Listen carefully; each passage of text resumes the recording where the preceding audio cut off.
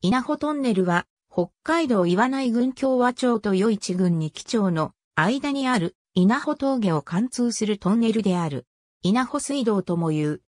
北緯43度一部36.5秒統計140度42分43.3秒。北緯43.026806度統計140.712028度43.026806140.712028北海道旅客鉄道函館本線小沢駅銀山駅間にあるトンネル。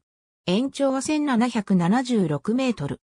初代北海道鉄道時代の1904年7月18日に小沢駅参道駅間の延伸開業に伴い、供用開始した。北緯43度3部27.4秒統計140度41分4.6秒。北緯43.057611度統計140.684611度。43.057611-140.684611国道5号の稲穂トンネル国道5号の小樽市、京和村稲穂峠間の改築工事に伴い、1962年に延長1230メートルの稲穂トンネルが開通した。